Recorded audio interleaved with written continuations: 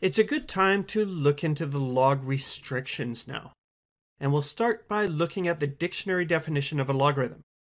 If a is a positive number and b is a positive number other than 1, then we can say that log base b of a is c if b to the power of c equals a.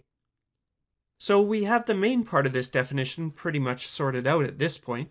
That is, we have the same base b and the a and c are switched. Yep, nothing new here. So let's focus on those preceding conditions. First, a is a positive number. Let's analyze that.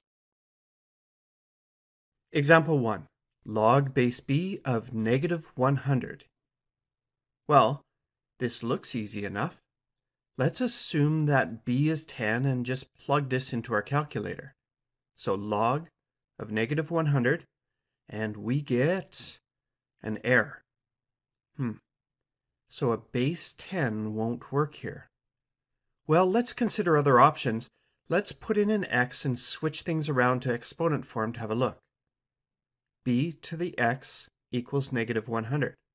So, what base b would make this work? We know that 10 squared equals positive 100. Hmm, what about negative 10 squared? Maybe that'll work. No, because we remember that negative 10 times negative 10 is also plus 100. A little more thinking, and we conclude that there's no exponent that'll make this work. Simply not possible to find a solution if our a is negative 100, and that's why we got the error in our calculator. Try another. Example 2 log base b of negative 1000, another negative. Let's just switch it into exponential form right away this time. And we'd have b to the power of x equals negative 1000. And actually this one could work, because if b was negative 10, we'd have negative 10 times negative 10 times negative 10, and that would legitimately give us negative 1000. x is 3. So in this case, we could come up with an answer even though the a is negative. Now, given that if we entered any negative into our calculator, we will get an error. Since we can't say that the negative works generally, we make the negative a restriction, and we find that most calculators will give us an error with any negative. So, due to the undependable nature of a negative a here, it's included as a restriction in our definition. Moving on to the next restriction, the b, or the base, is a positive number, with the extra condition of it being other than 1. So let's look at the first part of the restriction related to b. Let's try out a negative base. Example 3.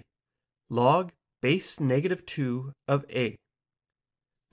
To prep this for our calculator, let's switch to base 10. And we have log a over log negative 2. And we can already see our problem. We know, based on our restriction around a, that plugging log negative 2 into the calculator will cause an error. And so it makes sense that we have to restrict our base to be positive. Now continuing on with our base b, that is not only a positive number, but we also have to avoid one particular positive number, and that is a plus 1.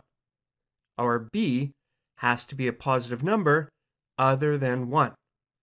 Let's take a look at this second part. Example 4.